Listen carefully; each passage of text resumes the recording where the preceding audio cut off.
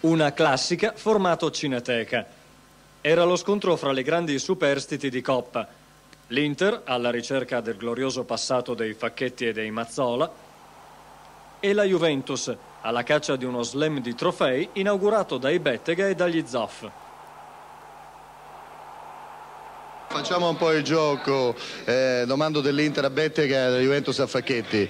Sarà più stanca eh, la Juventus o l'Inter dopo le prove di Coppa secondo lei? Ah, è difficile, direi che tutte e due devono, possono avere delle scorie fisiche ma sicuramente un grosso morale. Io se devo parlare dell'Inter sarei preoccupato come Juventino perché se dovesse giocare come mercoledì sarebbe una brutta gatta questa Juventus ha dimostrato che quando è una partita importante sbaglia poco, eh Giacinto? Sì, in effetti, ecco, per quanto riguarda chi ha speso di più, credo che sicuramente ha speso di più l'Inter mercoledì. E in effetti la prima parte della gara sembra proporre due squadre non al massimo delle energie fisiche e nervose. Svettano le opposte difese e il gioco viene espresso soprattutto a centrocampo, con la Juventus in grado talvolta di avvicinarsi pericolosamente a Zenga. Tardelli è l'anima degli attacchi bianconeri. Con Lovati devia una sua incornata. Arrossi e Briaschi stoppati sono centrocampisti e difensori, vedi Tardelli e Cabrini, a inseguire il gol. L'Inter non attende passivamente il suo momento e passa nella prima circostanza in cui riesce a prodursi in profondità, con Altobelli. È un malinteso fra Tardelli e Caricola a lasciare libero il centravanti. La Juventus reagisce e agguanta il pareggio con Tardelli, la cui conclusione viene respinta oltre la linea da Marini.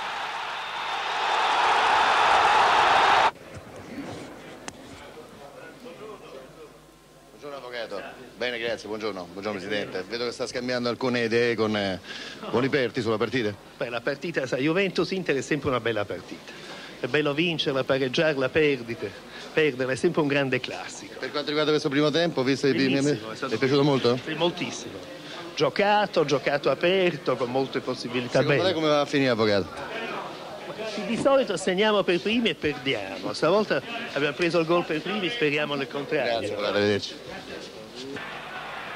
Previsione azzeccata, anche se l'avvio della ripresa evidenzia il forcing dell'Inter. Il palo è di Marini. Trapattoni esclude Rossi per Vignola e sceglie la carta del contropiede, mentre Rummenigge dimostra di non accettare il pareggio.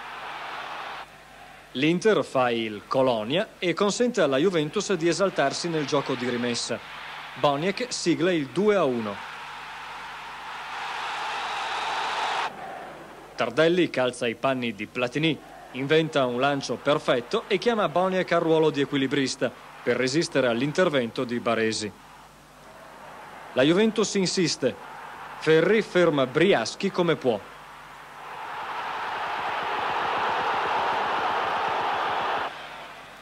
La partita si chiude quando il quintetto Cabrini, Vignola, Boniek, Platini, Briaschi suona il concerto dei piedi buoni e confeziona il più esemplare dei gol, capitalizzando lo sbilanciamento avversario.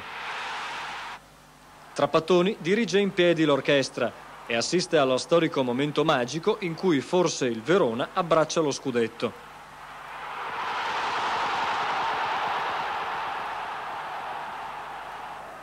Da questo orecchio Zenga per ora non ci sente, ma cinque punti di distacco sono tanti.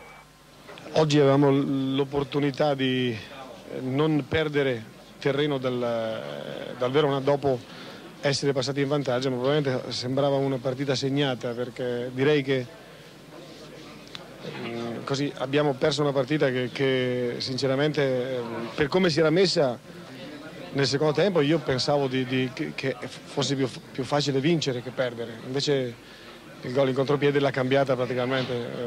Secondo lei Castaniere era più la voglia della Juventus di riscattare il 4-0 dell'andata o il fatto che l'Inter cercare di rimanere a galla per rincorrere il Verona?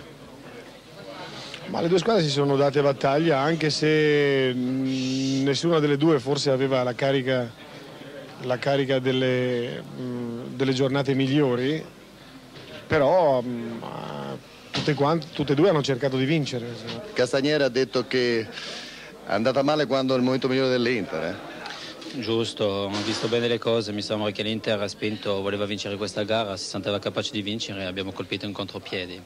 Dunque è vero che è il, momento, il miglior momento dell'Inter che abbiamo colpito. Idealmente la Juventus campione d'Italia consegna lo scudetto al Verona avendo fermato questa Inter che ormai ha 5 punti dalla capolista, a 7 giornate dal termine, i giochi sono fatti. Beh, mi sembra che sicuramente abbiamo dato una grossa mano al Verona, noi l'abbiamo fatto per noi stessi, non per il Verona certamente.